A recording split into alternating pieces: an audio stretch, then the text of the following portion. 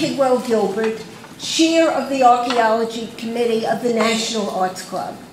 For those of you who are not familiar with the club, we're a 501c3 nonprofit based here in Gramercy Park with a mission to stimulate, foster, and promote public interest in the arts. Annually, the club offers more than 150 free programs to the public, including exhibitions, and it's a wonderful exhibition here and downstairs as well, theatrical and musical performances, lectures, and readings. For more information about the Arts Club, visit us at nationalartsclub.org or find us on Facebook, Instagram, and YouTube. On behalf of the President, the Board of Governors, and the Archaeology Committee, I am delighted to welcome our audience to an extraordinary presentation by Peter Herdrich entitled Preservation and Threats to World Culture, Lessons Learned. But prior to speaking, permit me some highly personal remarks related to our committee intertwined with September 11th, and we all know today's the anniversary. For those of you who suffered on this horrific day 22 years ago, there is little more that I can say other than I'm sorry for your grief, that you lost a loved one or had your health impaired. My deepest sympathy to those so affected. My heart goes out to those individuals impacted by the worst. Life as we know it was upended, and nothing can truly bring back those more sanguine times. But I consider essential to learn from the past, to try to come to terms with the past, no matter how painful. I wish to recount my own experiences, which contribute to tonight's introduction.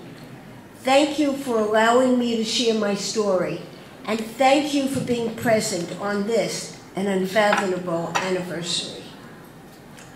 Just before 9 a.m., I received a telephone call from the publisher of an art newspaper for which I wrote, who told me to turn on TV. Both of us, being Jewish, I assumed something had occurred in Israel. Surely evil can't happen here. You are all aware of what I saw. Similar to many trying to trace the whereabouts of loved ones, I frantically, immediately attempted to reach my son, who could have been any place in New York. I went out to vote in the primary election, though realized my selection would prove somewhat fruitless. But I didn't want to allow anyone to limit my rights as a citizen. I next withdrew $500 in cash from the bank and embarked upon massing food shopping. At every payphone I passed, with feelings of panic increasing, I endeavored to locate my son, and later remained at home, still trying to speak with him, until I finally succeeded.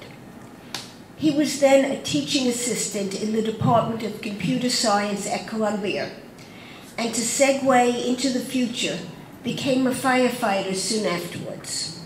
He's my hero, exemplifying, if I am not for others, what am I? When you know what danger is and you're willing to assume the risks in order to help people, especially those you do not know, that's heroic. I realize others also undertook something similar, and they're all heroes. My telephone fortuitously functioned. This is why I believe in retaining landlines. For those eliminating yours, I truly believe in retaining them. And since my apartment was located on a low floor, neighbors requested to use it.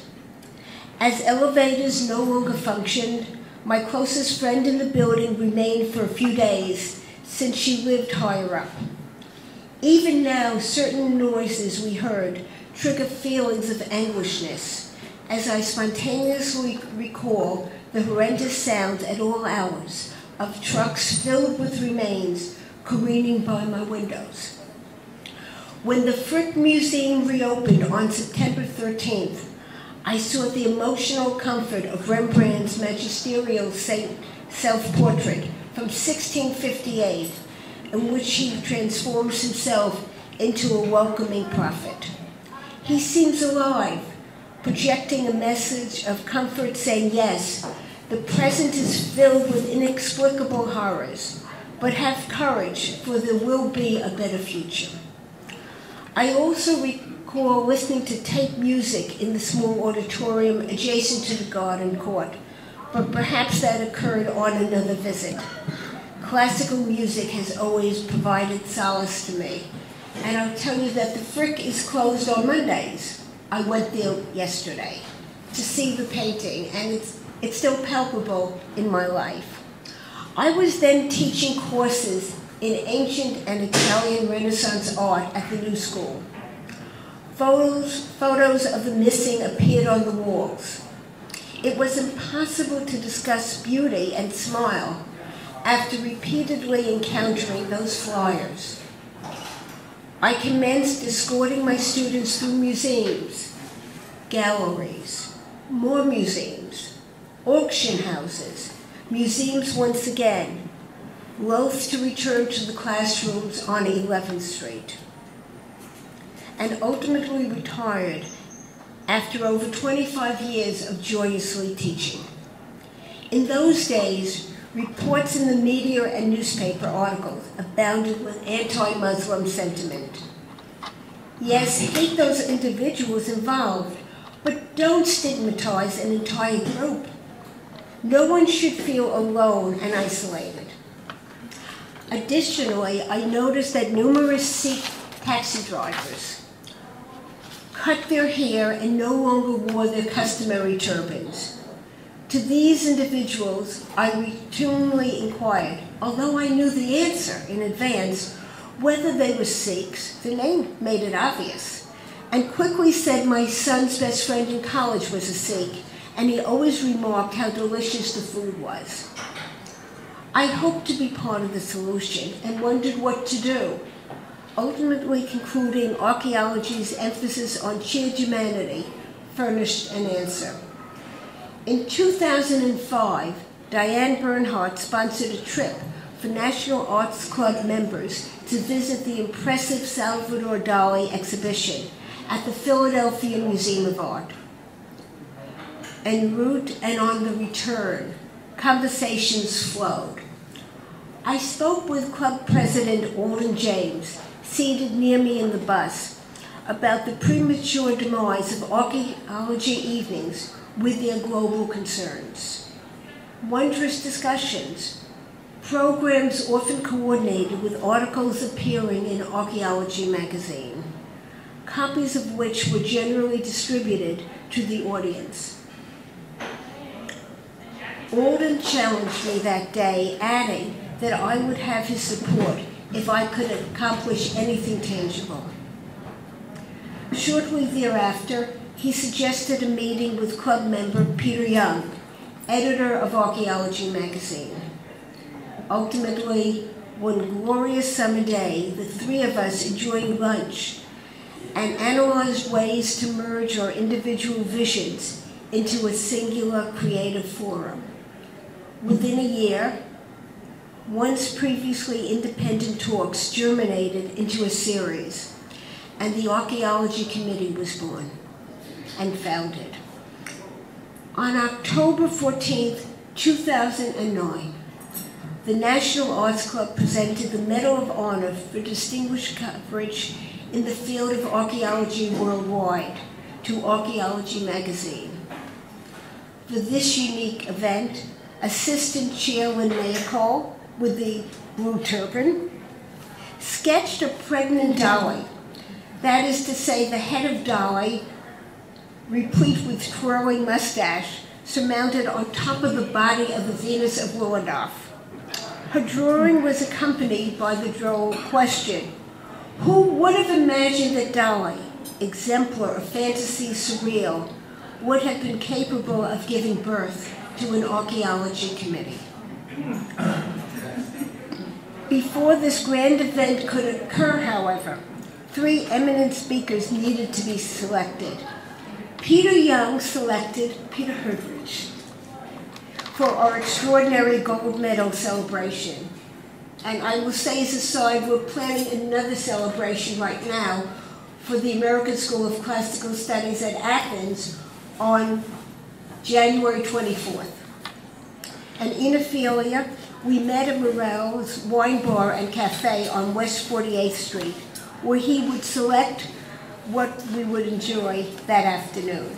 Obviously, this was the start of a beautiful friendship. And the first of his collaborations with the club, where Peter would likewise prove a welcome presence at many lectures given by others. Subsequently, CEO of the Archaeological Institute of America, his vision for a National Archaeology Day resulted in a congressional proclamation, which he graciously presented to Diane Bernhardt during our second salute to National Archaeology Day on October 25th, 2012. And I tell you all that I have a photograph from that day. I wish I could have shown it. Peter's there, Diane Bernhardt, you gave her the proclamation, and Ambassador Kouros Aponanou uh, from wonderful Cyprus. Uh, I was told my photograph wasn't sharp enough. I'm sorry. I have it on my cell phone if someone wants to see it later. In any case, from its inception, he was involved with the educational initiative, speaking with students at Hunter College High, and supplying Washington Irving High School with numerous copies of Archaeology magazine.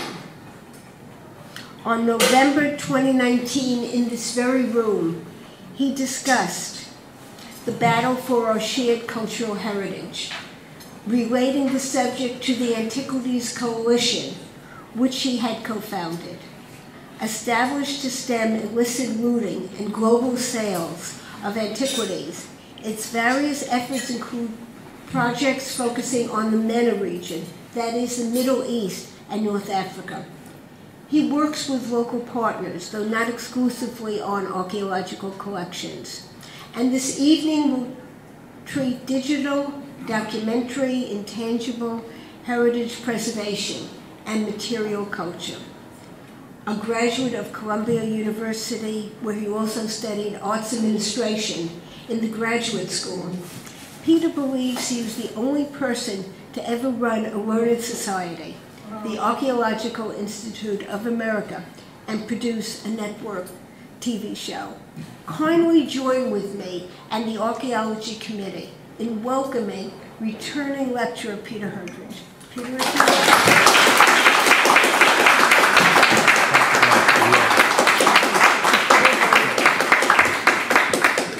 Thank you, Ms. Shelfer. Uh, that couldn't have been a more lovely introduction.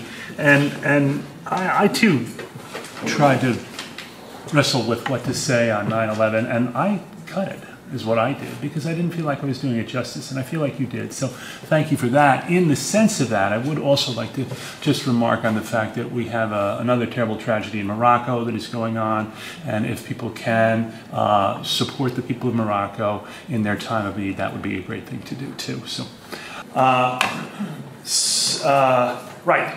So today is the kickoff of the season. So congratulations on another season, and you can count on me to come and see some of the uh, tremendous speakers that you have lined up already for, for this year. And uh, I want to just start the season in a way that I think is very appropriate, which is to ask for a round of applause for Michelle, who told you the origin story of the archaeology community, the, or, the, the rebirth story, the phoenix story of, of, the archaeology, of the archaeology committee and how, uh, how she was behind all that. So congratulations to you as well.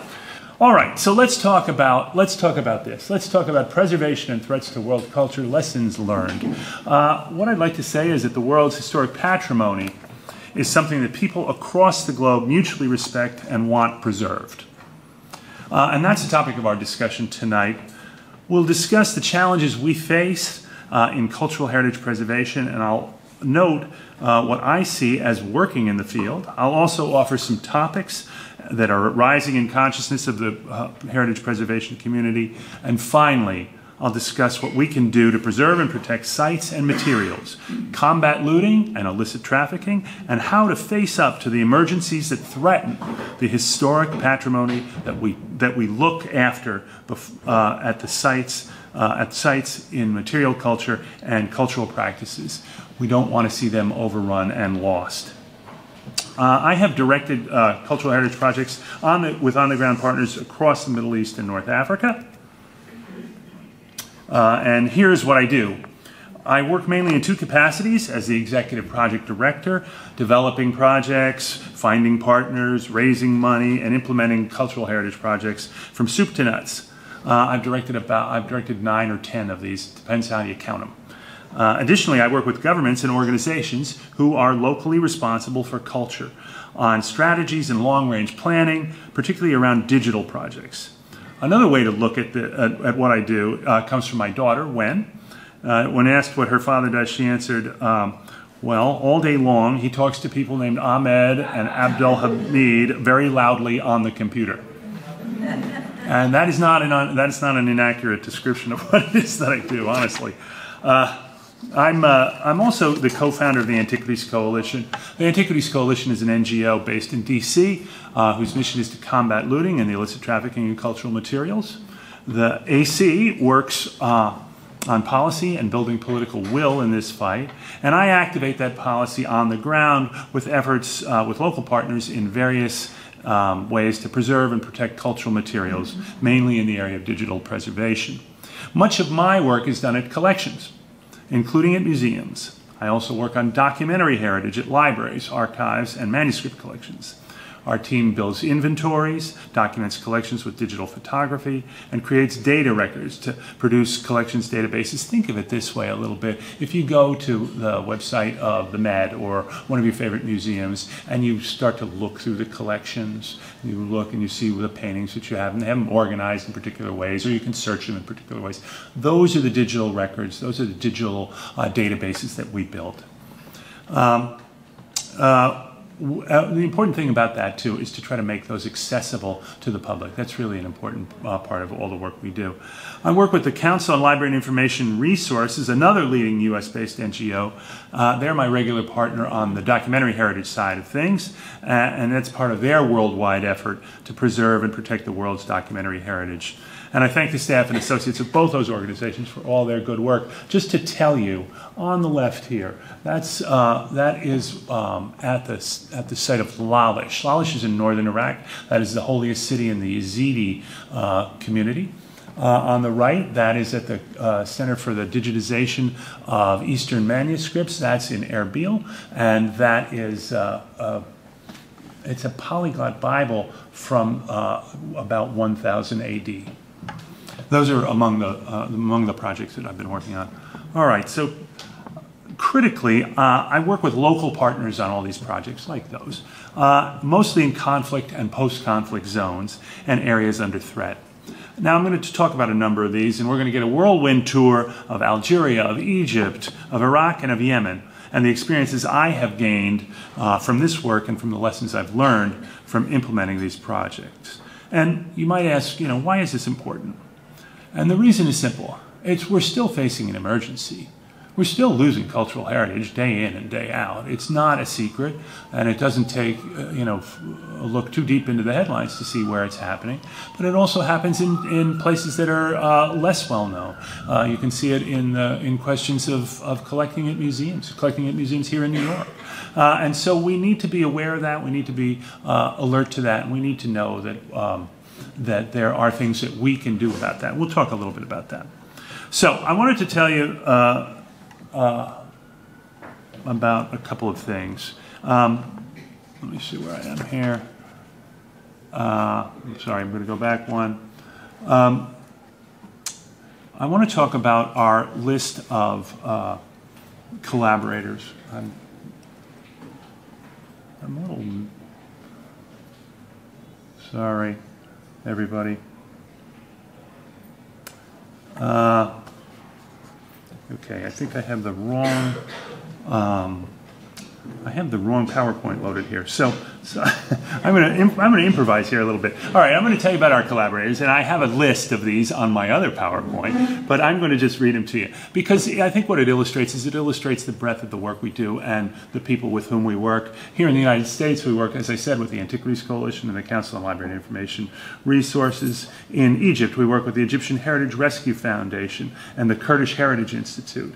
Uh, uh, uh, sorry, in uh, in Egypt, it's the Egyptian Heritage Rescue Foundation. In Iraq, it's the Kurdish Heritage Institute, the Syriac Heritage Museum, uh, Yazda, the Yazidi Social Services Organization, the Center for the Digitization of Eastern Manuscripts, the Assyrian Aid Society, and the Sinjar Academy. In uh, Yemen, we work with the National Museum of Aden, the General and the General Organization of Antiquities and Museums. And in Algeria, we work with the Ministry of Culture, the National Library, uh, the National Manuscript Center, and the Bardo Museum. It's a, it's a wide-ranging list of collaborators we have, and I think um, that I haven't even mentioned individuals or people with whom we're affiliated, but not actually in, in, uh, on project work with. Uh, I've probably overlooked somebody, I apologize to, for that. But the point is, though, that there's, and this is our first lesson learned, uh, it is that partnership is critical. You can't do this without partners. The, the, the, the, field is too complex. You need too many people. You need contribute, contributions from so many people. And that's why we look to people like you, people who have specific skills who can help us. We need archaeologists. We need teachers. We need diplomats. We need technologists. We need fundraisers. We need business people. And I can go on and on. Because the fight against looting and illicit trafficking, the efforts to, to do what we can to protect, preserve and protect our cultural heritage are such that um, we need help from all those people because it's too big a problem for any one person to get, a, get their arms around singularly. Okay. Uh, the next thing I want to talk about is that uh, in order to uh, to preserve and protect what we have, you've got to work with the custodians of the heritage. Uh, and it, it, has to be with the people on the ground and the people who are responsible custodians for that heritage. And I'll give you an example. And it is again back with the Yazidis. In 2014, you'll probably remember what happened to the Yazidi community in Iraq when the so called Islamic State attacked them. It's been determined to have been a genocidal attack. People were killed women were women and children were sold into slavery. It was an absolutely horrifying ordeal that they had that they had to uh, endure. And when I went to Iraq to to work with them the first time, uh, it seemed to me pretty obvious that there was no way that I could possibly understand what they had gone through. There was no way that I could understand their, their, uh, their culture itself. There was no way that I could put that into perspective, and there was no way that I was going to go and tell them what they should do with their culture. It was a revelation to me in the sense that um, what I understood was that it is not up to us uh, despite the fact that we have skills and despite the fact that we can uh, accomplish things uh, around projects, to tell local communities about their about their community heritage. That's not for us to do. And that's, uh, I think, a really important lesson for us. It's one that, that I think um, that I think has uh, that we've got to keep in mind in all cases. We try to go really in a sense of service as a consequence. We try to say, look, it's your culture, you're responsible, let us help you however you want. You make the decisions, uh, and, um, and you can uh, therefore uh, present your culture the way you want it presented. Okay, so respect is a very important part of that, right? Respect and a little bit of humility is a very important part of that, and so is the commitment to the work.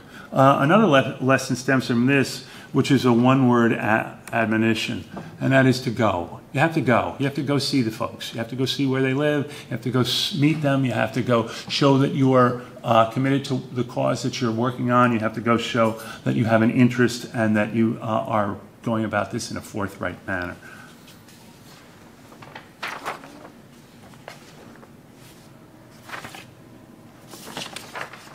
Sorry. Uh, I want to tell you a little bit about, when I say go, I want to tell you about a trip that we took recently to uh, Algeria, to a place called Adrar. Adrar, if, if you can think, think of the map of, I am going to try to draw the map of Africa backwards, right? Okay, it kind of goes like this, and it goes down over here. And in the northwest corner, which I think is over here, is Algeria. Algeria is the largest landmass of any uh, country in Africa. And if you were to drop a pin in the middle of that landmass in the Sahara Desert, that is where approximately where Adrar is. It is very far away. And so in Adrar, I met a man whose name is uh, Belfakir A. And he is a conservator. He's a paper conservator. The National Manuscript Center happens to be in that city. And it is the site, it's the locus of, of a manuscript culture that really is of an international class. And it's not easy to get there. It's, it wasn't easy for us to get there. It's not easy for people who study manuscripts to get to either. Uh, but he is, he's a dedicated uh, conservator, paper conservator, and manuscript conservator. And he said to us, um, he said, you know, we're very far away and we don't get much attention. And we want to thank you for coming to see us. We need equipment and we need training because we have a world-class resource here. And I thought about that and I thought, yeah, you know, they do have a world-class resource there and they're ignored. They're ignored and they're, they're fighting uh, their own problems with climate change and with um, with violent extremism. And if that's the case, then yeah, I should get on an airplane and I should go see him, and we can do we can do something. And in fact, I have some news about that to tell you about later. Okay, so I want to go here to my next point, and that is that uh, as I say, this threat in Algeria is with climate change, and climate change is on everybody's mind. It's obvious. We, uh, you know, we don't need to look any further than New York to see what the temperatures have been like this summer. So as those temperatures rise, uh, and as enthusiasts, we're all gripped by the wildfires that ravaged much of the circum-Mediterranean area this summer. We saw them in Greece, we saw them in Italy, we saw them in Algeria, we saw them in Spain. Uh, and we know that this is driven by uh, climate-related temperature uh, climate, uh, climate change and how it's driving temperatures higher. So I'll give you another example, and it's here. That, those are manuscripts in Algeria in the city of Adrar. That's a collection. You can see how, how it's deteriorated. It's deteriorated for a couple of reasons, mostly because the temperatures are going up. And our research colleagues who, who live in Adrar, who are at the university there, report that as they travel about and visit private libraries, these private libraries that hold these materials, they see fewer and fewer uh, manuscripts each year. They believe that it's a crisis there. And this crisis is, is principally driven uh, by climate change. So I want to just say that um, uh, we have an ongoing project in Algeria. We're working with the Ministry of Culture there and at the Bardo Museum. Um, I'm going to skip ahead here. There's the Bardo Museum. Uh, the Bardo Museum is their ethnographic and prehistoric museum. Um, you may know that, that Algeria has some of the earliest uh, I, I, was going to. I was working on this, and I was thinking to myself: Are these are these human settlements? Are they hominin settlements? Uh, they're 2.7 million years old, and so they have an incredible collection over there. That's a, a palazzo from the 18th century, and you can imagine, as you can imagine, it's a it's a beautiful place. We went we went there to work on a grant that we had received from the United States Embassy in Algiers, and what we were doing was we were installing a uh, we were installing a digitization laboratory, and we were training uh, people from Algerian museums, from six Algerian, six separate Algerian museums, in the uh, digitization and documentation of collections. That happened earlier this year. That was in uh, May that we did that. Okay, I want to I want to tell you a little bit about uh, Algeria. And, you know, this is the archaeology committee, so we, we're not going to get by without a shot like this, right? We, we all want to see beautiful archaeological sites. This is the site of Timgad in Algeria, which you may be familiar with or may not. Uh, Algeria is not a well-known country here in the United States at all. It's hard to get to. Its travel is not easy. But uh, take a look at that. It's pretty impressive site. It's a Roman site. It was built in about 100 AD during the time of uh, Trajan and it was um, it's located in the northeast of the country. Uh, the ruins are noteworthy because it is one of the best examples of Roman urban planning set on a grid plan. So you can see that. You can sort of see the roads there that, that take us around. Um, the, uh, it's a UNESCO World Heritage Site. It has been since 1982. Uh, and uh, I sort of put that in as just a little aside because it, you know it's archaeology, and I want to mention the archaeology, of course. So uh, here we we go on to some of the other sites. This is um, one. This is a Hammadid, Hammadid uh, uh, fort from the uh, about 1000 AD, and this is a 13. Uh, this is a mosque from 1300 AD.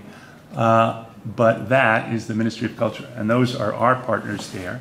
Um, we began our project about two and a half years ago. We began by looking at the process uh, and strategy of how the Ministry of Culture is implementing, uh, implementing um, the digitization at memory institutions in Iraq. Um, what we did was we organized with them a regional conference. Um, uh, we also, uh, in addition to, to looking at this, uh, the, uh, the rationalization of and the digitization of memory institutions, we also organized a regional conference uh, among Maghreb nations to talk about the threats to privately held manuscripts that are not in possession of national entities. And here we'll see a couple of the libraries that we visited over there. Uh, on the left, that is a library. It's about an hour west of uh, Adrar. And you can see that it's a facility that has no uh, windows. It is out. I, I, can tell you the little story. We drove west for about an hour, and from this small town of 8,000 in the center of the Sahara, and I don't know why we turned where we did. It had to be GPS driven because I don't know why we went off on this particular path. But we went up and down, and we went and found ourselves in this town. We were greeted. Uh, we were greeted in uh, in an incredibly warm manner.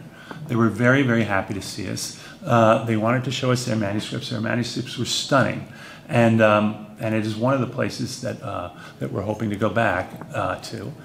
One of the things that I was impressed with, though, was why why was there no windows, and that question was answered for me when I saw bats fly in and out, and I thought to myself, uh, you know, I'm not really a huge fan of bats. And I don't want these bats to land on my head. And everybody, and many of the people in our party sort of put on their baseball caps and said, uh, you know, this is uh, why, why, what about the bats? Um, and, and I thought about it and I thought, and I, I wanted to ask, and I didn't know if I should, and I kept my mouth shut. And as we left, um, the person there on the left is actually an Algerian uh, ministry official. And I said, you know, it can't is it good to have bats in with manuscripts? I did note, I, I want to say, I did note that all the manuscripts were in boxes or on shelves or behind doors or behind glass. And he said, Oh, yeah, we love the bats. And I said, Why is that? He said, Well, they eat the insects. And the insects are the threat. The insects are the big threat. It's not the, you know, it's not the uh, bat pooping. It's the, it's the insects that the bats eliminate, hence, no windows. And I thought to myself, it was a, it was a lesson for me because I thought, look, this is, uh, you know, I think I'm so smart, right? I think I know about conservation, preservation, and I'm going to come and I'm going to. This is why you have to be humble about this, right? This is a reinforcement of that same lesson I talked about before. You have to give credit. These communities there, which are, are family and clan based principally, and have been collecting um, manuscripts for years and years, I mean, hundreds of years they, they have been extremely good custodians of this material and have kept it in great shape for that long. And so the revelation was uh, I can learn from them and they can learn from me. And so uh, that is the, I think that's a, a great way to approach this. Uh, on, the, on the right, that is a larger, um, these, these libraries are called Khizana, K H I Z H A N A, is the transcription of the Arabic word. And uh, the Khazana are, as I say, privately held. That privately held is important because it means they don't get any government help. And um, when I was applying for for uh, for aid for for a project uh, uh, with with the Khazana, one of the people at the funding organization said to me, "Well, if these are private collectors, why are we helping private collectors? They must be rich." They must, you know, they probably have, they, if, if you say they have thousands of manuscripts, they're probably very wealthy. And we don't help, you know, we're not here to, we're not here to underwrite the wealthy collecting behavior, collecting behavior of wealthy individuals. And I said, no, no, these are not wealthy people in uh, cosmopolitan areas. These are people in the desert who have been uh, doing this for years. It's an interesting story of, of how and people have asked me this. "Who, you know?" It's the answer to the question, "Who knew?" Right? It's like, who knew that there was such a there was that there were so many manuscripts of such age and importance in that area of the world? And as it turns out, it's kind of an interesting story. Um, there is, of course, the east-west route, uh, the, the caravan route that goes across the center of the Sahara, which was taken and developed uh, to a great extent um, to support people going on the Hajj. And if you went in 400 years ago on the Hajj, you had to be a person of means to do that. It took a year to go uh, to Mecca and back. And if you did that, chances were good that you would also collect things along the way. And that among the things you would collect would be manuscripts. You might also collect rugs, you might also collect other things too. But manuscripts were particularly good because you were going to educate yourself with those. You had access to them all along the route. Apparently, there was a big trade and all of that and uh, and then you had uh, you were able to bring them home. You were able to use them as the basis of a community-based library. So this is one of the reasons why these are these um, these collections are beloved too, is that they've been working in these communities for years and years. Uh, and when I say years and years, I mean hundreds of years and hundreds of years. So uh, that is um, the story of these Khizana.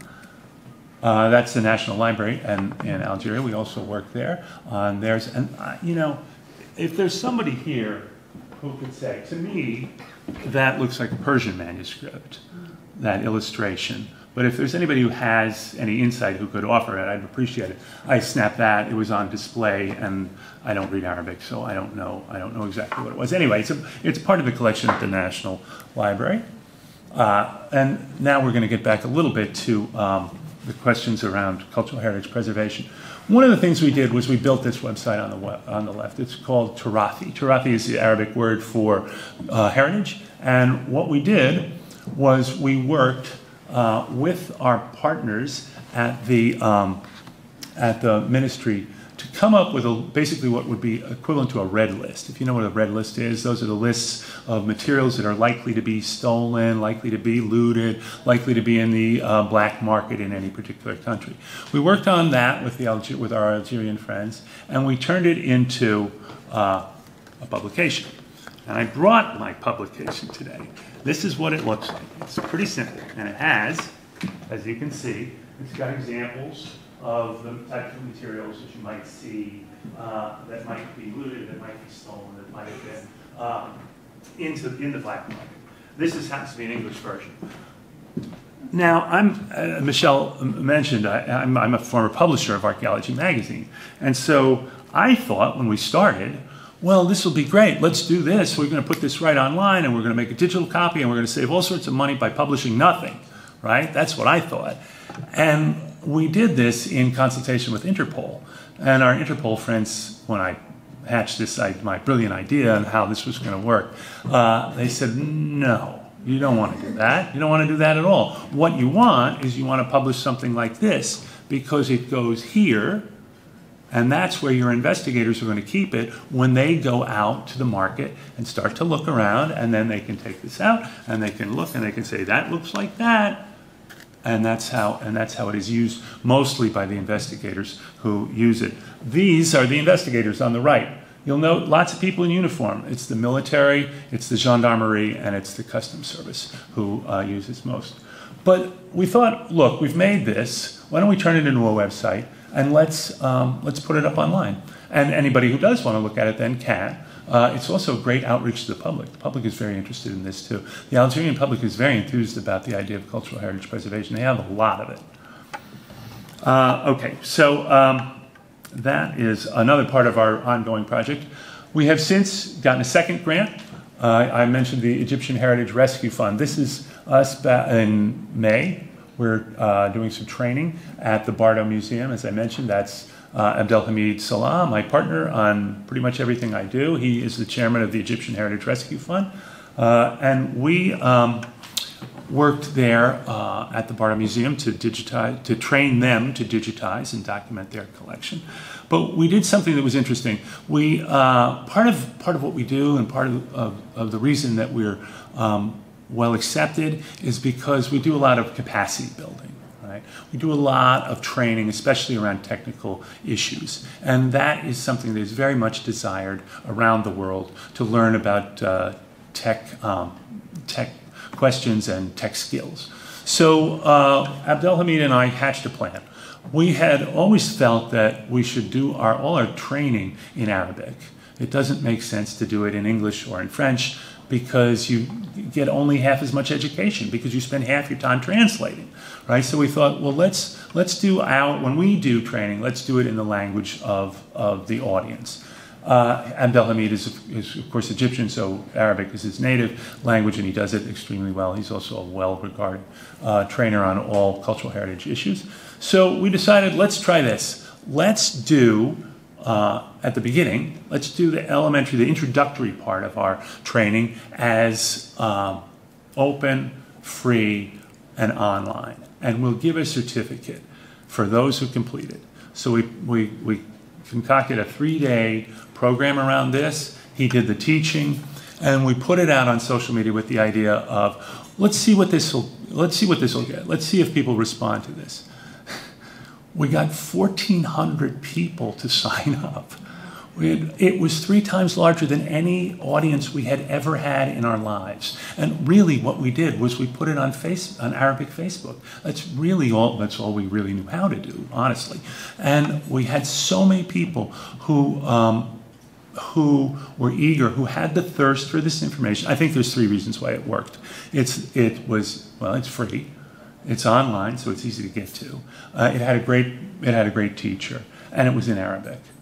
And recognizing that, we have now taken that, and now we're working on other ideas where what can we combine with. Uh, with online that we can open up and, and train uh, at scale uh, with in-person training because you do, there is in-person material, there's in-person stuff that you do have to do. So that is what we were doing over at the Bardo Museum. Among the things we did was we built this. This is the beginnings of the um, digitization lab. Uh, this is something very interesting, I think. It's 3D photogrammetry. Now you know you've certainly seen 3D images of things, and you know that 3D um, computer uh, data can be printed, and it can give you uh, all sorts of, of, of, ways to use it that's different, especially for 3D objects. You don't need it obviously for documentary heritage very much, but uh, in this case, that's our, our teacher on the left, and this is the object that uh, that we were working with.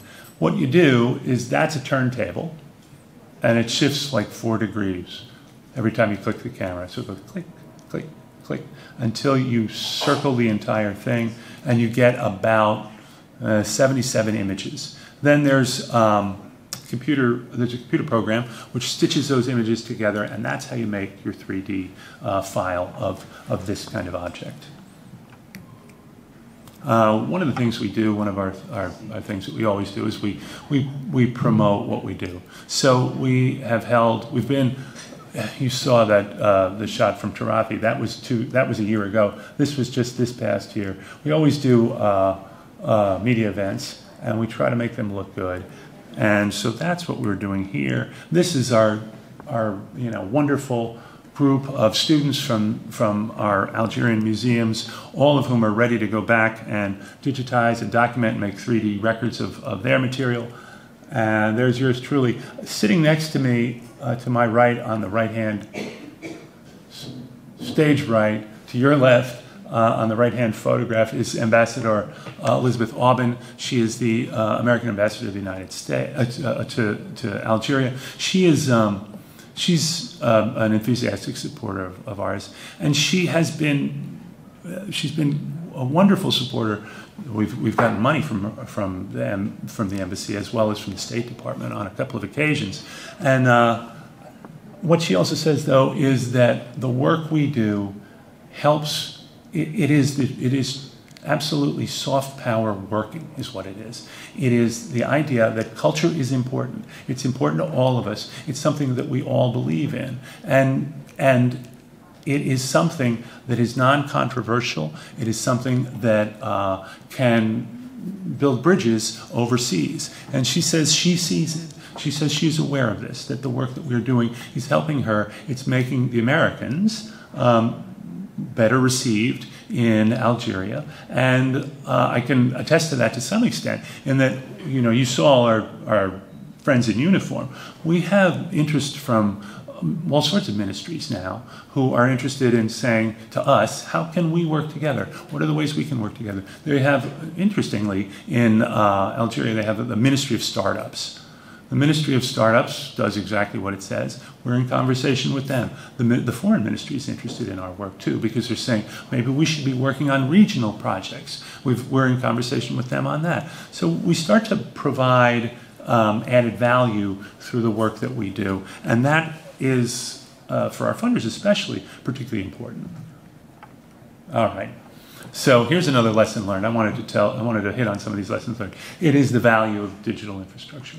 We're doing a lot of this work. As you can see, we build websites, we build databases, uh, we do um, strategy around that. And uh, so we recognize the value of this material. Uh, I'm just looking at my clock. I don't want to uh, stretch this out too long. Okay, so I have some news. I'm a former television news guy. That's where that's what I started out as. I'm not an archaeologist. I'm not an academic. I'm not an art historian like uh, like Michelle. What I am is I was a I was a TV news guy, and on September 11th. I watched the, the buildings come down from the studio, and we had the most uh, um, dramatic days of our professional careers shortly thereafter. This is the news that I wanted to give tonight.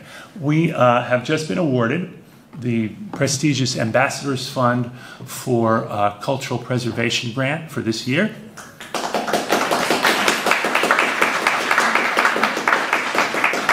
Thank you, thank you. Um, it's nice to get a hand for a grant, I got to tell you.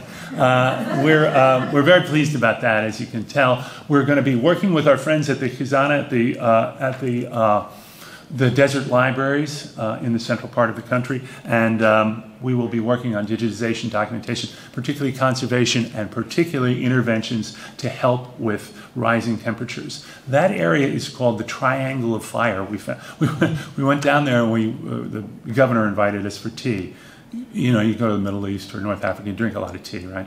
And uh, we went over to see him because, of course, we wanted to see the governor. And he told us, yes, we now call this the Triangle of Fire.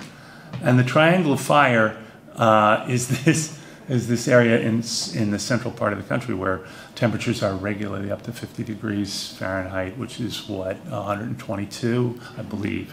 122. That sounds right. Okay, so we have to. We feel like we need to enter. Yeah, exactly. You're going like this. You're absolutely right. So, uh, so the good news is we have this new grant, and we'll be undertaking that. We'll be starting that next month. So we're uh, we're pretty proud about that. Okay. So we're talking about the value of digital infrastructure and scaling up. I, I say this, I should have mentioned before, there are about 75 of these Khazana in, in Algeria that we have discovered so far. We think there are more. So part of our process is to, is to um, assess this, is to do a mapping of this, is to figure out where, uh, where uh, these are, what their situation is, and to talk to them as best we can before we do any interventions. We need to talk to the people and find out what do you need? What's the thing you need? You know, it's, it's, you can be very far away and maybe you don't have electricity. You certainly don't have cell service, so maybe you need satellite phones. Uh, do you need, um, you know, are there, are there, you know, is what's your water situation look like? We need to find out some of those things. We need to do that kind of work as well. Uh, so what we're trying to do here is we're trying to scale up, and I'll, I'll, I'll give you a, a quick um, rundown on that. The first one of these projects I did was in Sulaymaniyah in Iraq, and that was at the place called the Kurdish Heritage Institute, one organization. Second thing I did was three organizations in Iraq. Third thing, uh, third major one, uh, is the six organizations here at the, uh, the museum um, cohort that we just did. With this, with the Khazana, we're hoping to do 75 organizations.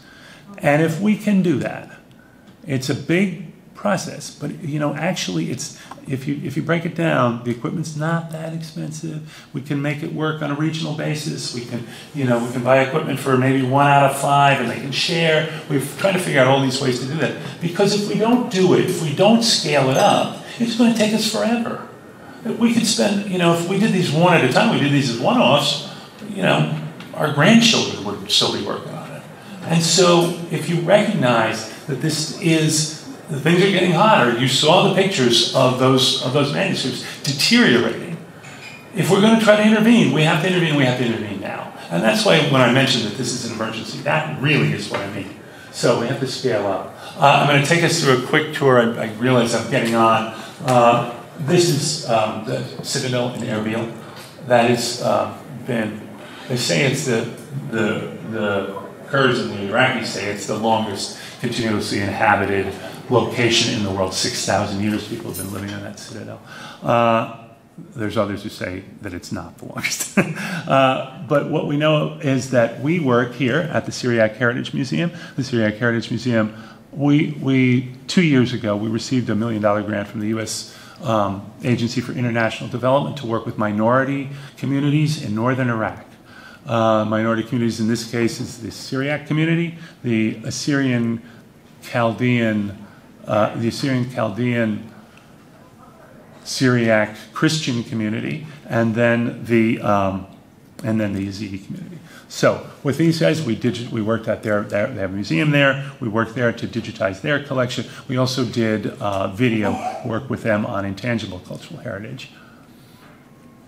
That is um, Archbishop uh, Najib Mikhail. He's a very, he's a very, he's an absolute hero of, of cultural heritage preservation. He's the man who famously saved so many uh, manuscripts in Mosul from the advance of the Islamic State. Put him in his car, took him across to Kurdistan, got out of town 15 minutes before the Islamic State arrived. He tells an absolutely hair raising, blood curdling story about that, uh, which I believe I told last time I was here.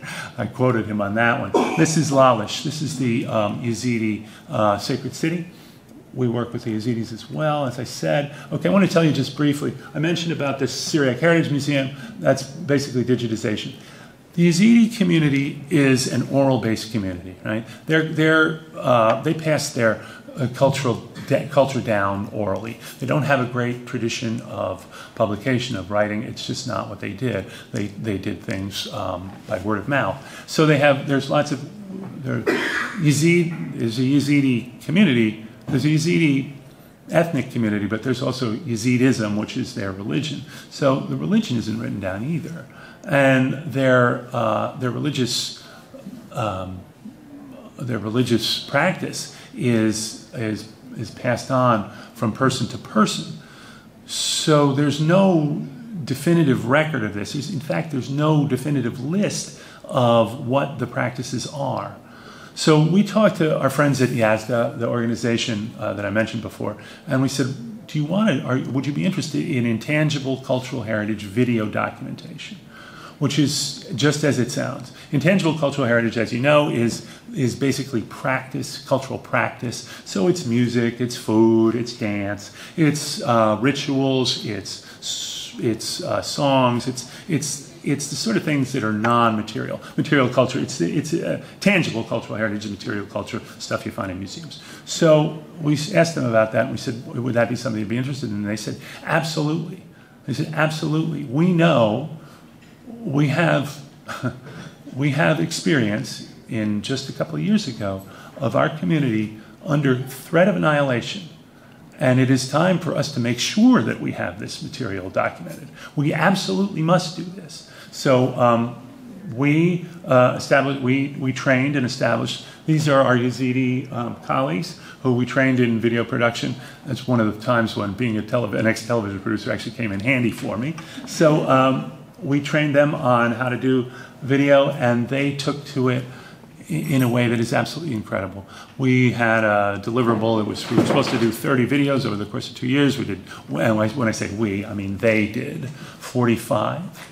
Uh, those are now all, we set up a YouTube channel. Those are available for their community. They're available for the diaspora community around the world so that they can stay in touch with those, those cultural practices, even if they're in, you know, Melbourne, uh, Australia, or uh, you might not know this, Lincoln, Nebraska, the largest Yazidi town in the United States. So, um, so that's uh, that's what we did there, uh, and then uh, and then the other community is um, Archbishop Najib's community at the, the Center for the Digitization of Eastern Manuscripts. They're pretty much a standalone. He doesn't need any help from us. He just, we, we got the money and we give it to him and he takes care of everything. So um, that's that. All right, so here's some more lessons. Support of diverse, for diverse voices. You, you sometimes think, we in the United States especially think that it's pretty monolithic. It's not in Iraq. In Iraq, it's a, it's a pretty polyglot, actually, or, poly, or a pretty diverse um, population between the Kurds, who claim to be the largest ethnic group in the world who doesn't have their own homeland. Uh, between, you know, you have the contrast between the Sunni and the Shia. But then you have Christian groups, you have Yazidi groups, you have Turkmen groups, you have the Shabak, you have the, uh, you have there's there's eight groups that are officially recognized by the Kurdish regional government, the, the government up that is the semi-autonomous government in the northern part of the of the of the uh, country. And the idea is that we want to have people know that that there's multiple groups and multiple uh, multiple ways of of living within the Iraqi system, within the Iraqi nation, and that if you know that, you hopefully can learn that you have things in common you learn that people are just like anybody else. You learn that you can get along. You learn maybe steps towards democracy and cooperation. That is part of the idea there. Intangible cultural heritage documentation, I just talked about that a bit, and then documentary heritage. Uh, the Archbishop Najib has material going back, I think, to the sixth century. He covers all religions as well, and that material goes to a, a great place. If you've never heard of it, it's called the Hill Museum and Manuscript Library out in Minnesota and you can see this stuff there. All right, just quickly, this is the uh, this is the um, National Museum in Aden in Yemen. You know, another place that faces just terrible problems, a civil war that's been going on since 2015. Uh, once the UN once called it the worst humanitarian crisis in the world. Granted, that's before Ukraine and you know our, our recent um, set of crises. Uh, that is the um, that is the museum. That museum was looted in 2015. It was uh, six guys with Kalashnikovs walked in and stole all the gold coins. That's what they did. They were Houthi rebels. This is part, that's, uh, Aden is part of the uh, internationally recognized government territory. So what they asked us was, could you do an emergency digitization? Could you do it really fast? And so we organized this. This is us with our, our Yemeni friends. This is in Cairo. We couldn't get into Yemen. It wasn't safe, wasn't safe enough. Uh, and um, so we trained them on that. We did that. We expected to be done in four months. and the government shut the, shut the, uh, the museum down, locked up all the material, and we just had to wait. We just had to wait until they decided it was safe enough for the people to re-enter the museum. It took about two and a half years before we could get back in. It was not on the timetable we wanted, but good, thank goodness we didn't have anything um, that was uh, stolen in the, in the middle. Uh, that is what it looks like today. we have been in, we've gotten things sorted, we've gotten uh, a full emergency uh, digitization accomplished. And I want to tell you something that's really fun which is they, they had no inventory. They had an inventory. They had an inventory from 1980. It was handwritten. It was in an. It was in uh, uh, a Yemeni dialogue that very few people speak anymore, apparently, uh, and it was very tough to to translate. And during our two years of sitting around doing nothing, we thought, well, let's let's see what we can do. Maybe we can take a shot at this, and maybe we can transcribe this, and at least we'll have some sense of what, what is in there. Well, we did, and we found that there were about 3,300 objects in there. We only found 2,700 objects. Now we know that a bunch of coins were stolen, but we really don't know. There's other things that are missing. But what we did find, we did find a cache of coins, a separate cache of coins, 7,000 coins, of which 500 are gold. And nobody in the museum knows where they're from. There is no, inf- there's zero information on who owns this. Uh, they don't know how it got there. I, I, find this amazing. I mean, you'd think somebody's worked there for a while and would have noticed this pile of gold coins, um, but apparently nobody has. And our current project is to try to figure out where that comes from. Now, it's a fun story, and they're very happy about this. They feel like they've, they've, they've found this treasure It's almost like archaeology in the museum, right? It's archaeology in the storeroom. But the thing that's the thing that's equally important, I think, and the reason I make this point is that this is why you have to have the inventory and the digitized information, so you know what the stuff is, so you know where it's from, so you can figure out what's uh, you know where you know who owns, who's who's the rightful owner, and where it should be. All right, I'm going to wrap this up quickly. All right, so the lessons learned here is in Yemen, war zone, civil war, uh, you know, a wiped out civil society, no health care. They had a 40% mortality rate at COVID. It was just, it's, it was, it was awful there. And so what we have to do is we prioritize against risk. So in the case of the Yemen, uh, the National Museum there, yeah, of course we had to we had to get involved with that because this is the stuff that's most at risk, and you have to intervene where things are most at risk. At least that's what I believe. All right, um, that just about does it. I want to just uh, check one fact here in my notes, and then um, I want to ask you if you have any questions. But um, one of the things that uh, I think is important is the, is remember I mentioned go before. Well, when I go, I take gifts. Can you tell what I take as a gift? Well, you can see, I think, if you look closely at the photo. Um, so uh, I guess with that, we'll, we'll end it there. I, I did want I, I do want to say, if there are any questions, do we have time for a couple of questions? Of course. Yeah, great, super. But I want to say something first. 1st of all, this was so fascinating. You do such important work, Peter. I, I'm always amazed and I'm always so impressed by you, the way you go on and you make a change in lives and society. So Thank you, thank you, I thank, I thank you.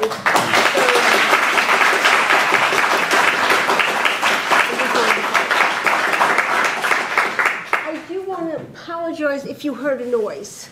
I kept my all of you, I kept my cell phone open because something you said. We, our second program after return, post-COVID, was on November 10th, 2021, how climate change impacted the ancient world, evidence from the equator to the poles with Steve Picard. It's online. I recommend this. It was absolutely fascinating. So, and we were talking the other day just about how climate change impacts civilizations and cultures, and we were talking about Morocco before the horrors in Morocco, which just occurred. So, you have when you see the manuscripts all dried up, think of the knowledge that we've lost and the beauties. I was also amazed, and I did not know this. I'm sorry I didn't.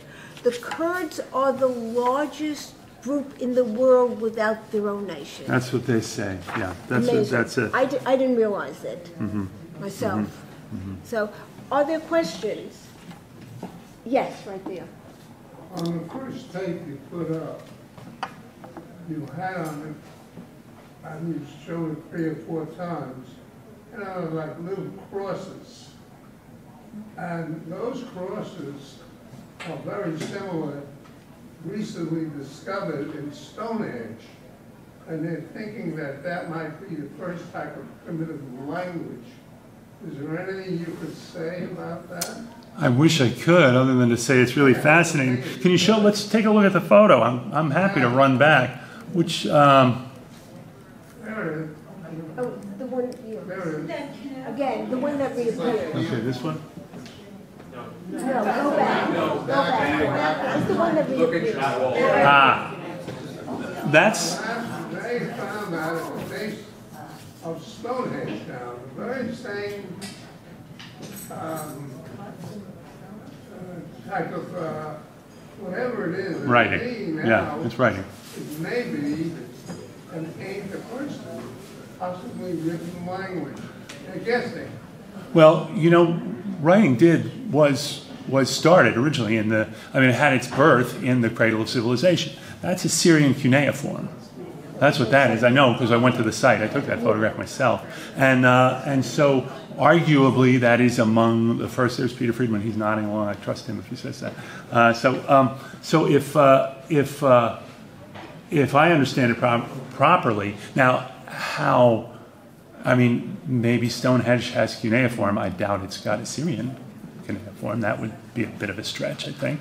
Uh, but um, but that technique, I'm sure, could be uh, one that would be would have been possible. it in the last year or two. Interesting. I almost hate to ask, but do you have any update on the sites in Syria? Yeah, uh, from, from what we understand, it's pretty devastating.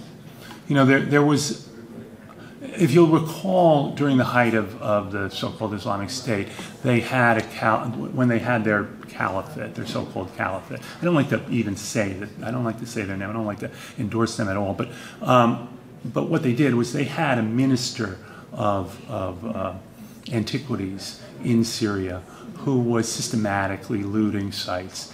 And from, from what we understand, people still haven't been there very much because it's still, you know, it's still uh, uh, uh, an area of conflict.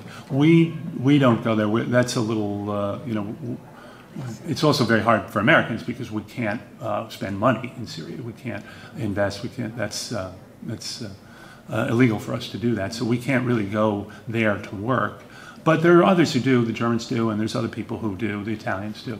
Uh, but the reports are bad, and that uh, you know that looting was rampant. And you can you've seen uh, I, one time when when I spoke here, I we used to, I used to have well I have I'm sure someplace photos of it looks like you know the it looks like the face of the moon. It looks like there's craters every six feet where people just went in and dug and dug and dug with the hope of finding something uh, that they could sell. So uh, from what we understand, it's not good. There's not been a survey, a total survey done of it yet. There's this place, the American Schools of Overseas Research, ASOR, dot- ASOR.org. They have good information on Syria if you're interested in looking at their website. Yes. I have, sorry, quick question. When you're showing the recording of three-dimensional images, Mhm. the technique that you're using reminds me of the early form of digital tomography of the translate rotate. But your digital camera that you have right now in its panoramic mode produces a three-dimensional image in essence. And if you think about utilizing the ever-present phone digital cameras or other digital cameras and just using that as a stationary image on your rotating uh, platform, then you can produce relatively inexpensively a three-dimensional image. So I would think that might be toward your global uh, approach. You're thinking um, in a way that is very similar to uh, the way a number of people are thinking. We have um, a coll- colleagues that had a commercial operation called Truepic, which is an authentication uh, photographic um, application. And what they do is you, you snap a photo, and if you're on the internet, it goes up and goes through the internet and it comes down in a blockchain in California so that you have proof of where something was at day and date and such such a time. They're using that in Ukraine right now. Uh, Microsoft and Truepic has, has piloted a program there where they're going to collections probably not dissimilar from what we're sitting in and taking snap, snap, snap, off they go and they group them and they, they catalog them a bit, uh, and they will know then if uh, if they find if these paintings were to disappear uh, because the Russians rolled in, uh, and you found that 20 years later, you could establish that it came from that place, from that collection in Ukraine, and you could repatriate it. That's how that works. Uh, so there are people who are doing just that. The the, the camera phone is, you know, there's there's those who say it, it will change everything. Well, I'm, that, that's probably not news, right? As a side, may I say that question was asked by my brother-in-law, who's an engineer. No. Yes, I saw something, yes, Yes, ma'am. um, in terms of who you're dealing with, what happens when the federal government of that country has one agenda, but the local authority or the local tribal organization has a different one because there are two different tribes or two different religions or two different ethnic groups? How do you manage that? Uh, it's it's a hard thing. Uh, you're probably identifying that from, from, uh, that is a challenge in, in Algeria, in the desert areas. You, you know, the reason they don't get support is because they have, they're, they're not particularly trustworthy of the federal government, of the Algerian government. They don't, they're, they say things like, you know, we're better off on our own than we are. We're certainly not going to send our manuscripts off to a federal facility or federal, you know, to their national library in Algiers to get them digitized or get uh, conservation done because they're afraid they'll never see them again. They're afraid they'll be nationalized. And, um, and so as a consequence, that is, that is trouble. Now, I have to say, my friends at the ministry over there are pretty open-minded about this. And they have said to me, uh, uh, you know, I've had to have that frank conversation with them. And they say, we know, we know that, you know, that's not a surprise. And we want you, we still want to encourage you to go do this so that you can help intervene on these conservation issues. And hopefully that will, you know, be to the benefit. Those are the learned people who are on the, uh, the side of seeing things put right. We're Right. not talking about the government, the actual politicians, who, who really don't care about putting things right. They want history to record their story only. And Well, they would like to destroy. It's, it's, you know, that's a, I suppose that's a human condition in governments everywhere. Uh, and we, uh, we, we just do our best with that sort of thing. Uh, We had Evangelos Kyriakidis talk about utilizing the local community for preservation and how important it is. So your question is very apt. I want you to know. We have time for maybe two questions more. Yes? Yeah, no, you. I'm, I'm curious what the process of trust building was like for you. Did you feel like you got there and the doors were flung wide open and you got to see everything? Or did you feel like over time you really, to, over successful interactions, kind of get more and more, build more and more trust and get to see more and more? It's, it is trust building over time. Uh, and I start, when I, when I, to be frank about it and to be uh, transparent about it, if you are raising money and you have, uh, you know, and you're willing to do the, you're willing to do the fundraising, that helps, of course. And, uh, but if you go, I mean, this is why I think it's important, as I say, it's important to go with some humility and it's important to, to say, for our Yazidi friends, those videotapes, uh, despite the fact that I can put together a videotape, they're made in a language I don't understand.